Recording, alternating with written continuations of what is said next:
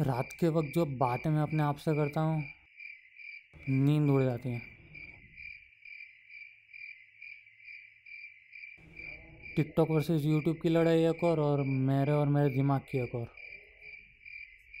मुझे फ़िक्र होती है फ्यूचर की, यादें आती है पास्ट की, पर बारह से दो नींद नहीं आती।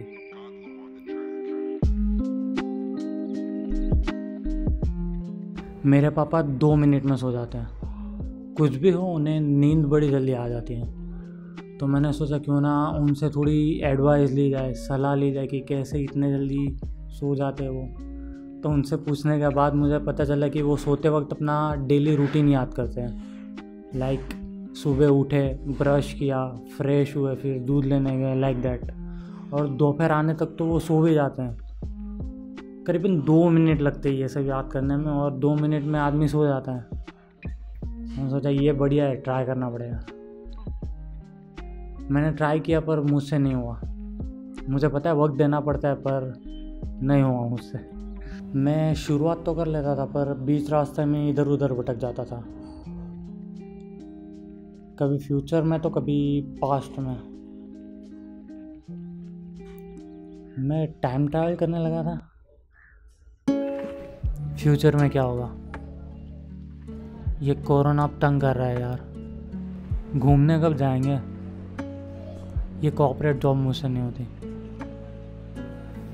पहले मज़े थे ना यार, ना कोई रिस्पॉन्सिबिलिटी ना कोई प्रेशर जो करना था वो करते थे। अब तो कुछ ना करना हो तो भी करना पड़ता है। ज़बरदस्ती। प्रेशर ज़िंदगी बदल सी गई है। सॉरी ज़िंदगी झंड हो गई है। ये सारी बातें मैं सोचता था और मुझे लगा और भी कोई तो होगा जो कुछ तो सोचता हो, जिसे मेरी तरह नींद ना आती हो। तो पता चला कि किसी को पबजी के सपने आते हैं तो किसी को फ़ूड डिशेस का टेस्ट आता है सपने में। किसी को सपने ही नहीं आते, पर नींद ज़रूर आ जाती है। मैं अकेला ही था जो इस भवंडर में फंसा हुआ था। जब वक्त था तब पैसा नहीं था। अब पैसा है तो वक्त नहीं है।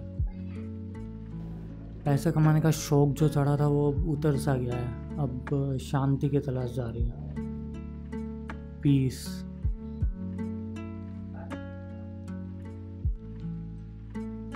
इसी बीच मेरी आँखें खुलती और मुझे पता चलता है कि यार, दो बजने वाले हैं। तो सोने चलते हैं। Good night